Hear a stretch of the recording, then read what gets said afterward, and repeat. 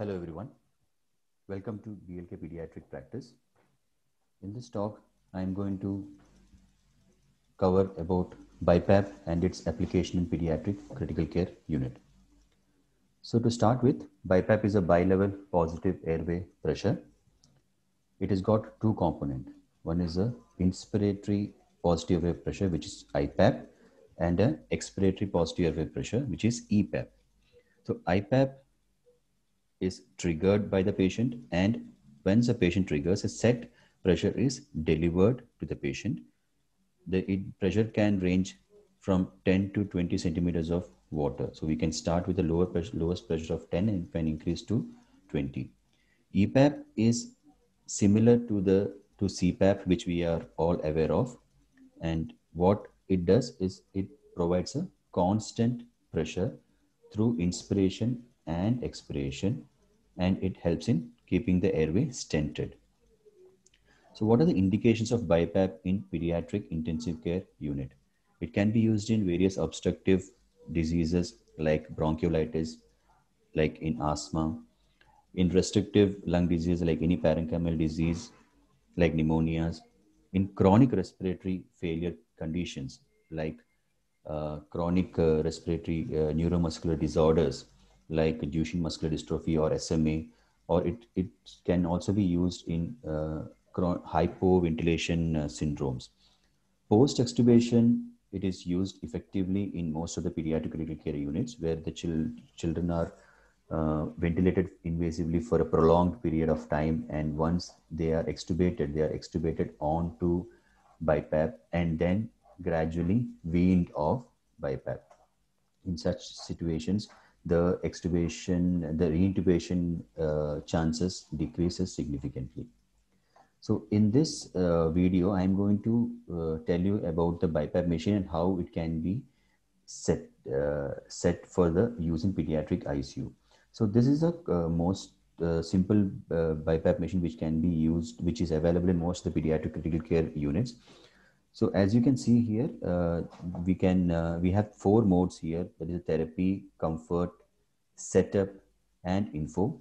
So once we go to setup and we select the setup, then we, if you notice, we have different modes of the BiPAP that can be uh, opted for. One is the ST mode, CPAP mode, and S mode.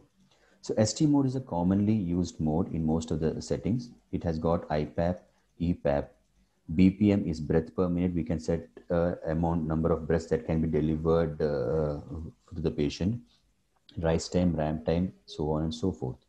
So uh, once we have set it up, then we go to therapy. And then when we select the therapy, then the BiPAP uh, machine starts functioning. So as I told you, ST mode is the most commonly used mode. It delivers IPAP and EPAP and a pressure which is uh, which is started for any patient is at a lower pressure. We can start at a IPAP of 10 and EPAP of 5 breaths can be adjusted according to the age. The maximum that can be delivered in this mode, uh, mode of uh, BiPAP is 30 breaths per minute, and it can be titrated according to the use of the patient. Ramp time is uh, is uh, signifies the ad adapt to ventilation gradually. It increases the pressures from a subtherapeutic level to a set pressures over a set interval between 5 to 45 minutes we can set. Rise time determines the speed at which the inspiratory pressure is risen to a set target pressure. We can use one to increase the speed for the fastest rise and six for the slower rise. In this video, I'm going to uh, tell you how to initiate BiPAP, how to get on uh, get onto the patient with the BiPAP mask. So before starting a BiPAP, the patient should be placed in the uh, head and elevated position of 30 to 45 degrees. An appropriate size mask needs to be used. So for that, what, what happens is we need to uh, use a mask with uh, covering the lower part of the, uh, below the lower lip with the mouth open, encircling the mouth and the nose and reaching to the junction between the nasal bone and the cartilage. So the mask is applied onto the uh, face and then it is, uh, the straps are used to fix the mask. So while fixing the straps, we have to ensure that we place the two fingers below the uh, strap and then the straps are tightly pulled and fixed. So this ensures that the mask is not tight, too tightly fixed or it's not too loosely fixed so that there is an appropriate amount of leak can be allowed. So we need to allow some amount of leak so that the patient can have comfort while uh, using the BiPAP. So the BiPAP mask also can be placed onto the child so that the child's anxious level can be relieved before even starting the BiPAP. And once you start the BiPAP, as I told before, we need to start with the lowest set possible pressures and gradually increase the pressure so that the child gets acclimatized to the situation. There are different types of interfaces that can be used, like nasal mask, which is uh, which has got uh, uh, there's a problem with leakage from the mouth and used, but mainly for most of the chronic situations like OSA. Total face mask, helmets also can be uh, used as interfaces.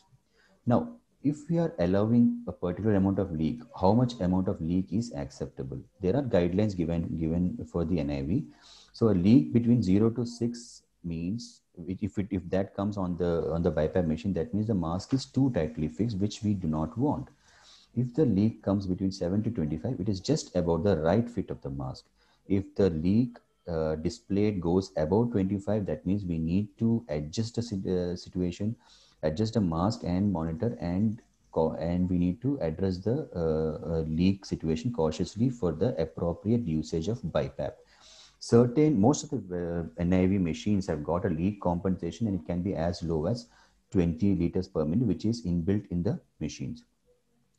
So coming to the end to uh, take home messages is it BiPAP can be used for the acute as well as chronic respiratory conditions.